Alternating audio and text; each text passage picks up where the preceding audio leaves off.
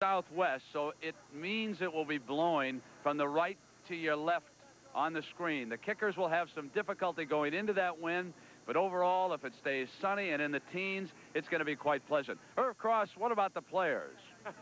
Brent, the players will have the best seat in the house. I'm sitting on the hot seat on the Redskins bench, and take a look at this temperature gauge. The Fahrenheit reading on the outside is 90 degrees.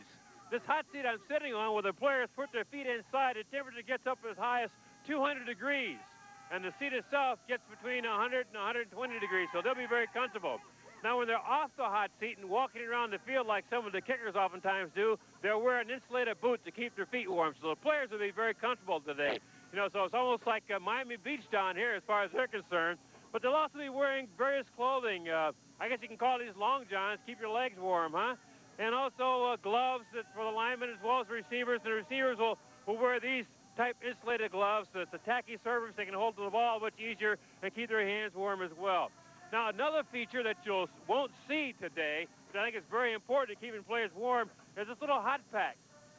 When you activate this hot pack, it turns from a liquid to a solid. Take a look at that. And it gets to about body temperature and stays warm for about an hour.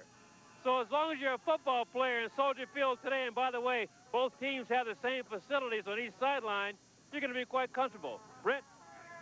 Irv, as you might expect, when I visited the two locker rooms, the players were still abuzz with what happened yesterday in San Francisco. This was the reaction of some of the Redskins and the Bears to that stunning upset. I think uh, kind of adds a little bit extra excitement to the game, uh, knowing whoever wins this one not only advances, but uh, goes back home for the championship game. I know we want this one awful bad, and if you go inside this locker room, we don't care about next week. We care about today. I think home field advantage is going to mean a lot to both teams. Of course, the Bears would love to get home field advantage themselves, and, and we would too. So this kind of game here is going to go all the way down to the wire. We'll see who bite the dust. There's also a couple of quarterback stories here. Jim McMahon returns for the Bears. And for Washington, Joe Gibbs has turned it over to Doug Williams today. Now, a man who is familiar with past quarterback controversies in Washington, Sonny Jurgensen. He's with Jimmy the Greek. Let's go to the Greek. Hey, Brent, I got Sonny, Hall of Famer. He's had a few controversies in quarterbacks. Tell us about the one in Washington, Sonny. Jimmy, I really don't think there's a controversy there uh, as far as Doug Williams and Jay Schroeder. It was just a matter of Coach Gibbs and the staff getting some production from the quarterback position. Jay wasn't doing it. He was in a slump. They put in Doug Williams, and he performed. He brought him back against the, the Minnesota Vikings. Yeah, but Williams is 0-2 starting and 3-0 coming in.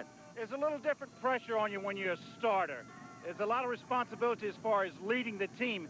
Coming off the bench is no pressure. You're only getting in the game because the guy that was playing was playing poorly. Well, that's my question, because there's some talks of, of Williams being a little bit on the choke side. Well, I don't. I wouldn't suggest that in any way. I think that uh, today he's got to make the plays. If he doesn't play well today, look for Joe Gibbs to go back like to Schroeder. I like the Redskins. I think if they can get the matchups in the secondary against their little receivers, they can win this football game. Okay, Brent, you got it. All right, Greek, thank you. When we come back, we'll hear from John Madden and Pat Summerall in just a moment.